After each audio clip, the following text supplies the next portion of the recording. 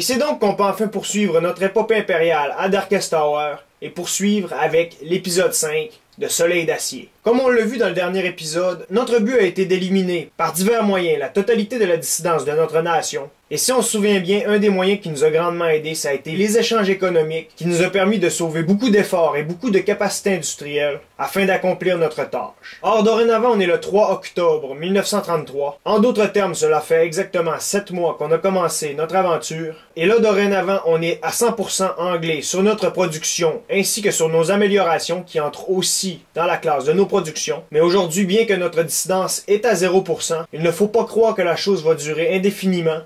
Les Chinois sous Chiang Kai-shek, qui sont tout à fait frustrés de la position de force du Japon et surtout de la perte récente de la Mandchourie. Or, on peut donc s'attendre quelques représailles de la part de Nanjing, soit la capitale de la Chine nationaliste, à cette époque. Donc, côté dissidence, il va falloir demeurer prudent et constamment garder l'œil ouvert. Or, prochainement, afin de protéger le Japon, je compte peut-être éventuellement réinvestir du côté de mon intelligence, mais pour l'instant, c'est pas notre priorité. Petite précision par contre avant de poursuivre, et ça c'est en lien avec ma technologie. Durant la dernière partie, j'ai mentionné que j'allais arrêter, ou du moins fortement diminuer la présentation des technologies que j'étais en train de rechercher. Cependant, il y a plusieurs personnes qui m'ont demandé de continuer dans cette direction. Or donc, si la majorité des gens veulent que je poursuive, je vais continuer à présenter ces dernières. Outre bien sûr quelques exceptions afin d'alléger le tout, mais cependant la chose devrait être assez limitée et la majorité des technologies que je vais rechercher vont vous être partagées et ça c'est afin de vous garder constamment au courant de la situation technologique. Or, simple petit rappel concernant mon économie, dorénavant je place 8% de mes ressources à l'intérieur de mes améliorations et ça c'est afin de vraiment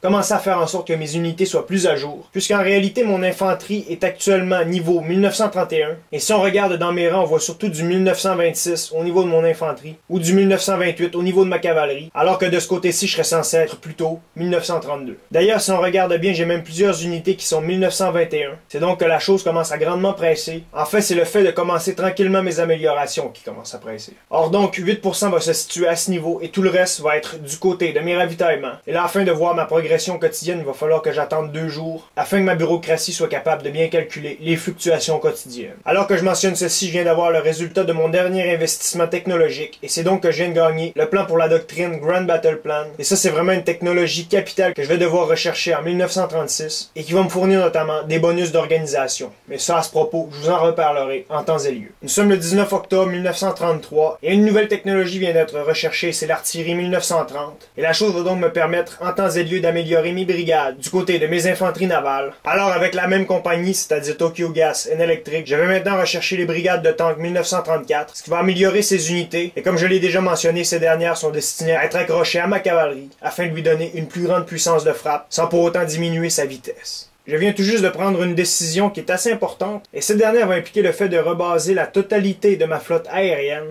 Tous mes intercepteurs, et là j'en ai cinq, vont se retrouver à Nagasaki. Tous mes bombardiers, là j'en ai seulement qu'un, vont se retrouver à Nagoya. Et enfin, tous mes bombardiers navals, et là j'en ai trois, vont se retrouver à Tokyo.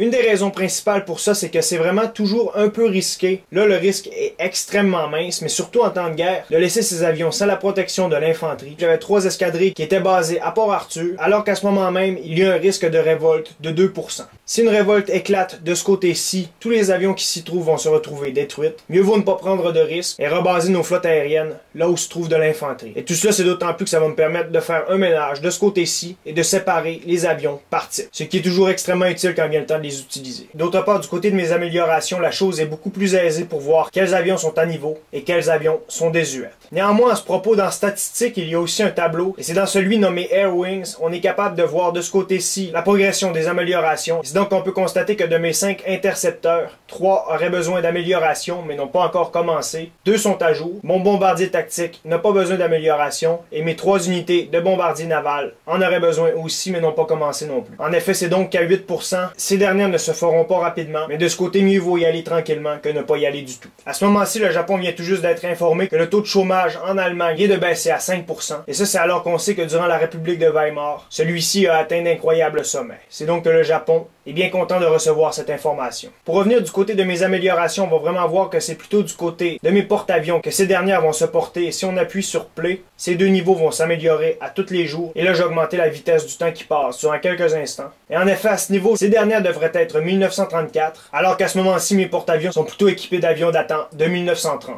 Et là, simplement pour vous mentionner, à Darkest Tower, tout comme à Hearts of Iron avant, les améliorations par défaut sont toujours portées sur les avions. Mais cependant, si on désire que notre infanterie soit améliorée avant, il faut faire en sorte de tout simplement appuyer sur ce bouton, et là, à partir de cet instant, ces unités ne seraient plus améliorées. Donc la chose peut être valeureuse en attendant si on désire mettre notre priorité sur d'autres domaines, mais néanmoins, il faut jamais oublier de décocher ce bouton, à moins qu'on ne désire qu'effectivement, jamais plus, ces engins ne soient améliorés. Néanmoins, pour l'instant, comme je désire améliorer la totalité des différentes unités militaires japonaises, je compte respecter l'ordre par défaut, puisque de toute façon, tout doit être amélioré. Une nouvelle technologie assez majeure vient tout juste d'être découverte, et c'est les sulfats antibiotiques. Et comme je l'ai déjà mentionné, ça va me permettre d'améliorer l'agrandissement de mon manpower de 1%, et d'autre part, toutes les fois qu'un individu va se retrouver blessé, 1% d'entre eux va pouvoir revenir à l'intérieur de mon réservoir national afin d'être redéployé. Dorénavant, je vais plutôt m'attarder du côté de mes croiseurs lourds en classe 1934. Et là, je ne sais pas vraiment si je vais investir de ce côté-ci. Mais si jamais je me décide, ce qui est vraiment extrêmement probable, et ça c'est d'autant plus que j'en ai deux en construction et que j'en ai plusieurs dans mon port déjà. Et c'est donc que peut-être si je me décide, je vais tout simplement augmenter mes lignes de production et cliquer sur ces petits icônes qui vont faire en sorte d'automatiquement prendre, par défaut, une fois que le prochain vaisseau va être terminé, la nouvelle classe et de la mettre sur la chaîne de production. Néanmoins, lorsqu'on fait ça, prenez bonne note qu'il y a une partie du bonus de chaîne de montage qui va être brimée. C'est donc admettons que ça fait 4 bateaux que je suis en train de construire et que là, en raison du nombre déjà construit, je possède un bonus, c'est-à-dire que chaque bateau est construit plus rapidement. Si je décide de passer vers la nouvelle classe, mes bonus ne seront pas éliminés, mais vont être cependant diminués. Malgré tout, la chose vaut la peine et ça c'est surtout du côté des navires, puisque ces derniers ne peuvent pas être améliorés. En effet, une fois que celui-ci est surclassé, il n'y a aucune amélioration possible. Et pratiquement les seules exceptions à ça, ça va être les porte-avions, qu'ils soient légers ou lourds. Et si de ce côté-ci, on ne peut pas améliorer les porte-avions, on peut toujours améliorer les avions dessus. Et comme la force de frappe de chacun des porte-avions réside en fait dans ces avions, c'est tout ce qui compte. Et ce simple fait vient grandement valoriser ces unités extrêmement précieuses.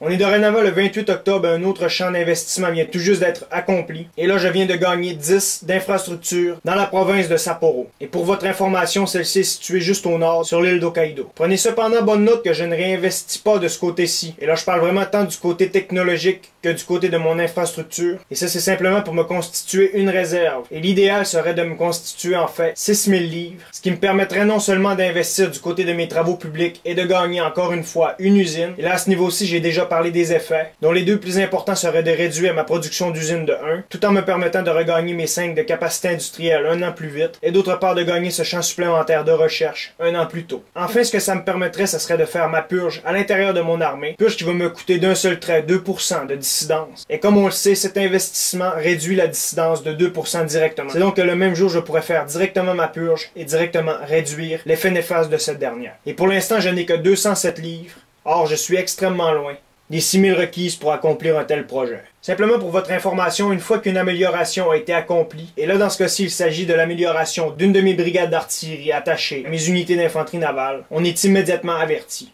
D'ailleurs, à ce propos, en effet, les brigades sont elles aussi une des priorités du côté des améliorations, aux côtés de tout type d'unités aériennes. Pendant ce temps-là, je continue mes fluctuations et mes échanges avec les autres nations. Et là, de ce côté-ci, je suis en train de concrétiser une transaction extrêmement profitable d'environ 6 contre 1 et là, je l'arrondis quand même avec un peu d'énergie. Mais croyez-moi, l'énergie ne vaut pratiquement rien. Et comme j'en produis abondamment, je compte la somme de 843 pour absolument rien. Et c'est donc en échangeant cet argent pour beaucoup plus de ravitaillement, je devrais être capable de faire d'énormes profits. Et bien évidemment, comme la transaction était de 100%, la chose a été acceptée. Et effectivement, pratiquement le même montant de ravitaillement, je suis capable de l'échanger avec le Canada pour plus de deux fois plus. Et ça, c'est déjà que j'ai fait une transaction avec un autre pays préalablement. Or, de ce côté-ci, j'ai pratiquement été capable de tripler En réalité, c'est plutôt quelque chose comme 2,5 fois plus d'argent que ce que j'ai initialement investi. C'est donc extrêmement profitable, mais cependant, comme je l'ai déjà mentionné, je compte de moins en moins m'attarder à la présentation de ces transactions. Néanmoins, simplement pour vous mentionner comment les choses sont changeantes, dorénavant les États-Unis, alors qu'elles viennent d'accepter du 6 contre 1, ne me donneraient aujourd'hui, environ une semaine après la transaction, pas plus que du 3 contre 1.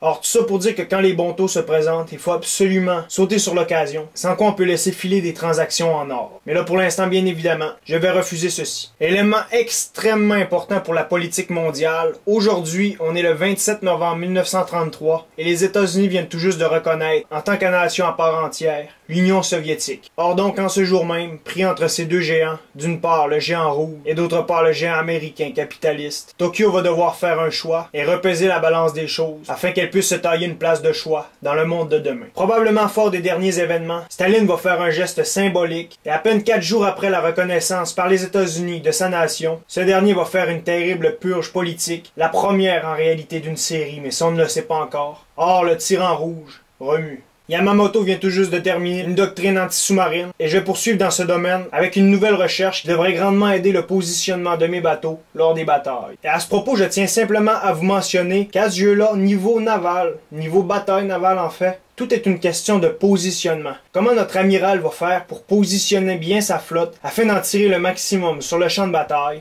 Or, c'est du côté de l'overview, dans l'onglet technologique, qu'on va être capable de vraiment voir où on en est de ce côté-ci. Et là, sans trop entrer dans les détails, plus les chiffres de ce côté-ci sont hauts, et là, admettons, du côté de mes destroyers, je suis actuellement entre 65 et 90, et plus ces chiffres sont hauts, plus le positionnement de chacun de ces engins va être optimal. Or, j'ai tout intérêt à grandement m'investir de ce côté-ci. Et là, c'est surtout au niveau de mes doctrines technologiques que je vais être capable d'améliorer ce dit positionnement. Nouvelle technologique extrêmement importante du côté de ma recherche. Là, dorénavant, une nouvelle technologie a été recherchée, et c'est celle de la classe Soryu de porte-avions 1934. Et ça, c'est d'autant plus que aussi de ce côté, c'est-à-dire du côté des avions destinés à aller sur leur pont, ces dernières datent de 1934. C'est donc que je suis fin prêt à commencer ma production à ce niveau-ci. Mais avant tout, je le mentionne immédiatement, je commence un nouveau Tech Roche et ce dernier va se diriger du côté de mon infanterie motorisée. N'oubliez pas de ce côté-ci, j'ai mentionné qu'il ne faut jamais commencer plus d'un an à l'avance. Et un an à l'avance pour une technologie de 1935 me mènerait au 1er janvier 1934. C'est donc qu'on est quelques jours avant, mais là ça dérange vraiment pas. Or je vais sans plus attendre commencer la recherche de cette technologie. Par contre, avant tout, je tiens quand même à faire peut-être une petite révision de ce côté-ci. Et c'est donc en regardant les éléments juste à ce niveau, on a trois compagnies qui pourraient nous intéresser. D'un côté, ce qu'on constate, c'est qu'on va retrouver ce signe à deux reprises. Or, une compagnie qui possède une seule fois ce signe pourrait déjà posséder des qualifications sur ces deux champs d'expertise. Cependant, ces derniers sont seulement que niveau 4 et d'autre part, cette compagnie n'est seulement que niveau 6, et c'est ma meilleure aux côtés de Nissan. En deuxième lieu, on aurait donc une autre compagnie qui serait elle aussi intéressante, de Skill 7, et qui pourrait quant à elle rechercher ce champ d'expertise qui est niveau 10, et d'autre part ce champ d'expertise, mais cependant celui-ci n'est seulement que niveau 3. C'est donc ainsi qu'on arrive au troisième. Et ce dernier va être particulier, c'est le général Yamashita. Et c'est donc en observant vraiment de ce côté-ci, on constate que ces deux champs d'expertise qu'il possède vont être les deux champs d'expertise niveau 10, qui sont beaucoup plus longs en théorie et en pratique à rechercher. Simplement pour vous dire, celui-ci possède les mêmes champs d'expertise, mais n'est que level 6. Or donc, le level 7 va être beaucoup plus viable, et c'est donc qu'on va lui ordonner de faire la recherche de l'infanterie motorisée 1935. Pendant ce temps-là, n'oublions pas ce qui nous intéressait grandement, et c'est au niveau de la flotte japonaise. En effet, de ce côté-ci, la classe Soryu vient tout juste d'être recherchée, et là, quand on construit une unité de porte-avions, c'est tout à fait crucial de bien cocher ces éléments et là, comme vous pouvez le constater, le Sea Attack, c'est-à-dire l'attaque sur mer, n'est actuellement qu'à 1. C'est donc qu'une fois qu'on coche ici, c'est-à-dire qu'on va faire en sorte que ce porte-avions va avoir des avions, là on augmente à 14. Et là d'autre part, ce qui est grandement intéressant, c'est le maximum firing distance, c'est-à-dire la distance de feu maximale. Et là on tombe à 145 km. Comparons simplement à un destroyer basique qui est quant à lui à 18 km. Enfin, observons maintenant qu'est-ce qu'il y en est du côté de nos cuirassés. Ces derniers sur ma classe optimale tireraient quant à eux à 35 km. À ce propos, je vous ai parlé un peu du positionnement de notre flotte. Et c'est donc que le petit chiffre juste à côté, plus il est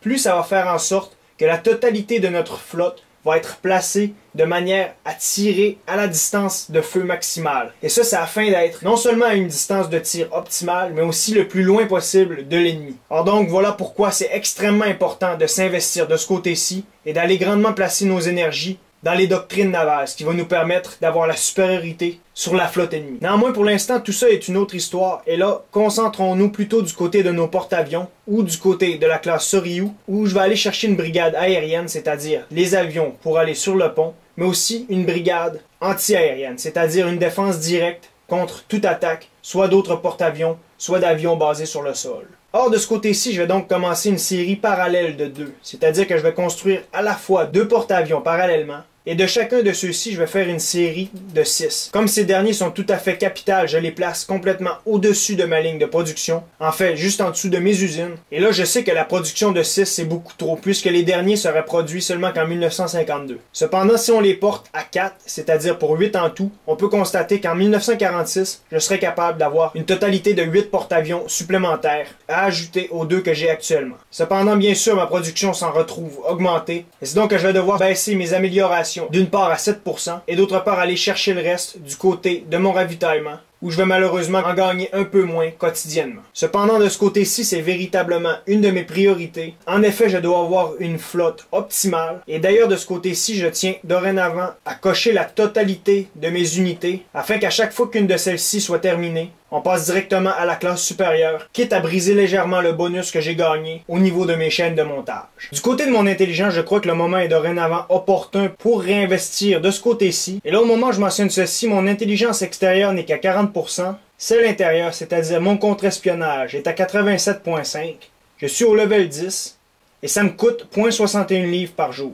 Or, dorénavant, je vais investir immédiatement 400 livres en espérant que la chose soit valeureuse. Et là, de ce côté-ci, les deux seuls changements qu'on peut dénoter, c'est une augmentation de 0.40 livres en termes de coût quotidien et d'autre part, une augmentation de 3.5% côté de mon intelligence extérieure. Donc, c'est peut-être pas extrêmement valeureux. Et si on compare cet écart avec celui précédent qui ne m'avait coûté en réalité que 7 sous, si je ne me trompe pas, qui m'avait donné un gain substantiel en pourcentage, tant extérieur qu'intérieur. Et là, on peut vraiment constater que cette fois-ci, ça a vraiment moins valu la peine. Mais malgré tout, je crois aussi que le moment est bon pour que je puisse enfin partager quelque chose avec vous. En effet, ce que je compte partager avec vous, c'est en réalité mon plan militaire. Ou du moins, si je ne vais pas trop dans les détails, c'est vers où mon regard est porté. Et oui, vous l'aurez peut-être déjà compris, c'est vers la Chine. Et une des raisons pourquoi j'ai voulu qu'on s'investisse du côté de mon intelligence, c'est afin de découvrir un peu et de commencer le suivi de sa puissance militaire. Mais lorsqu'on regarde la Chine, il ne faut pas seulement que regarder la Chine nationaliste, qui est juste à ce niveau-ci. Il faut aussi regarder la Shangzi Click, qui est au nord-est, la Sanma Click, qui est au nord, en région plutôt désertique, la Yunnan Click, qui englobe le Yunnan actuel et qui est à l'ouest de la Chine nationaliste, ainsi que la Guangxi Click, qui est quant à elle tout à fait au sud. À ce propos, on doit bien sûr exclure le Tibet, le Xinjiang, qui, comme on peut le constater, est au moment où je mentionne ceci, aux prises avec une révolte, et d'autre part, bien sûr, il faut exclure la Mandchourie, qui est en ce moment même mon état fantoche. Or, simplement pour vous donner une petite idée, dorénavant, je possède 37 espions à l'intérieur de la Chine nationaliste, et la chose fait en sorte de me donner un gain de 37%. Or, à ce moment même, on estime qu'il y a à peu près 56 divisions d'infanterie à l'intérieur de la Chine nationaliste seule. Cependant, il ne faut pas, comme il a été dit, que calculer cette dernière, mais aussi il faut intégrer à ce chiffre la totalité des infanteries qui se trouvent rattachées à ces différents états fantoches, c'est-à-dire ceux qu'on vient tout juste d'observer. Or, si on a 56 unités d'infanterie du côté de la Chine nationaliste, 41 du côté de la Guangxi Click, 15 du côté de la Sanma Click, 27 du côté de la Shangxi Click, et enfin 18 du côté de la Yunnan Click. Or, en tout, ça me donne un total de 157 divisions d'infanterie, mais en réalité, la chose ne s'avère bien qu'une estimation. Or donc, moi je prends bien en note que le 17 décembre 1933, il y a une estimation d'environ 157 unités, et là on peut estimer l'efficacité de cette dernière à environ 35%, mais cependant, calculons un bon plus ou moins de 20-25 unités, Or, à partir de cet instant, il faut garder ce chiffre en tête. Et alors que la totalité des forces de la Chine réunies regroupe à ce moment même 157 divisions, moi je n'en possède que 72. C'est donc que je suis bien loin derrière. Et tout ça, c'est d'autant plus qu'au beau centre de la Chine, il y a aussi la Chine communiste, qui quant à elle est tout à fait indépendante, voire même extrêmement hostile au régime nationaliste. Mais cependant, en cas d'invasion japonaise, il est fort probable que les 14 divisions qui se trouvent à l'intérieur aillent rejoindre celles de la Chine nationaliste, portant ici le tout à 171 unités Or, ce qu'on peut comprendre avec le dévoilement d'aujourd'hui, c'est que j'ai énormément de pain sur la planche et que je dois grandement me concentrer sur la création d'unités d'infanterie d'extrême qualité. Car oui, contre la Chine nationaliste, on ne joue pas avec la quantité, il faut jouer avec la qualité, avec nos habilités personnelles à gagner chacune de nos batailles. Pour ma part, je commence à monter un plan et Tokyo a en ce moment même les yeux grandement rivés sur sa grande rivale asiatique. Mais ce qui est sûr, c'est que la guerre ne se déclarera pas demain. On est seulement que le 17 décembre 1933. Mais néanmoins, on peut s'atteler afin de tout faire en notre pouvoir pour aller victorieusement en direction de la guerre et en direction de la victoire finale à ce niveau. Et là, on sait que cette dernière ne sera pas notre seul rival, car actuellement, le Japon se considère comme entouré et grandement légèrement brimé dans ses gestes. Mais néanmoins, si on désire aller dans cette direction, il va malgré tout falloir attendre le prochain épisode de Soleil d'acier. Et voilà!